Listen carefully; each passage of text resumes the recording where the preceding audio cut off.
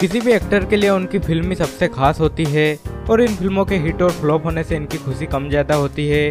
हाल ही में टाइगर श्रॉफ की मूवी बागी टू ब्लॉकबस्टर साबित हुई और बागी टू की सक्सेस को देख फ़िल्म के एक्शन हीरो टाइगर श्रॉफ के पिता जेकी श्रॉफ इससे काफ़ी ज़्यादा खुश है।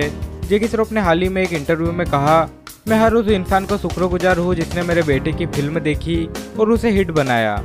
जेकी श्रॉफ आगे कहते हैं? टाइगर ने मुझे बताया कि हीरोपंथी की डेब्यू के बाद वह चार सालों में पहली बार सुकून की नींद सोए और मैं एक बार फिर सभी का शुक्रिया करता हूँ।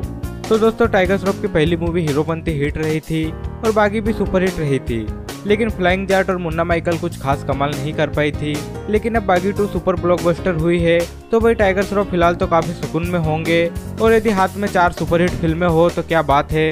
आगे आपको टाइगर श्रॉफ की student of the year two Rambo Hrithik के साथ एक एक्शन मूवी और बागी थ्री देखने को मिलने वाली है और ये फ़िल्म काफ़ी बड़ी है। तो दोस्तों, बागी टू के एक्शन को देख पता ही चल रहा था कि फ़िल्म ब्लॉकबस्टर होगी और फ़िल्म ब्लॉकबस्टर हुई। साथ ही आप इस पर क्या कहना चाहते हैं, हमें कमेंट कर बताएँ। और बॉलीवुड से जुड़ी लेटेस्ट अपडेट के लिए चैनल को सब्सक्राइब करें लाइक शेयर कमेंट ज़रूर करें।